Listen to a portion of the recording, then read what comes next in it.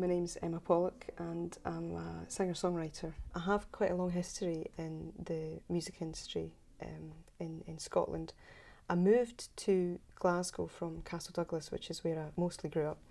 I moved to go to university and I met my, my husband actually and we ended up forming a band called uh, the Delgados and we were together from 1995 till 2005 and we we we also formed a record company um, to to help us get our records out. And that was Chemikal Underground Records which is still running strong now.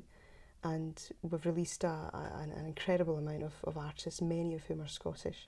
And since 1997 we've, we've actually been running this this recording studio Chem 19 which is Bland, in Blantyre uh, just outside Glasgow.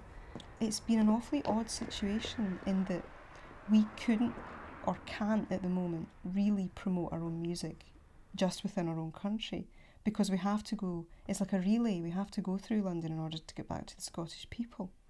And I do think that there's something wrong with that. I think it's one of the the unfortunate side effects for the way that media has been has, has, has been set up as, as a union.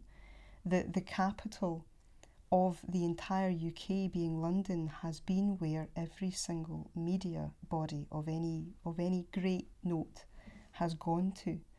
And it's it's something that within independent Scotland I think we could go an awfully long way to to balance and to rectify a Scottish press which is actually distributed to the rest of the those European countries who are interested in it something emanating from Scotland, something that is about Scotland's um, talent and media output without it necessarily having to go through another, essentially another country's capital before it can be accepted as being valid by our own country. I think that's a really sad state of affairs and something that could, yeah, we could go a long way to rectify that given the powers that we would get if we were, if we were, if we all come round to, which we should come round to the yes vote it would be a wonderful, wonderful thing for us to be able to build on the work that's already been done in Scotland.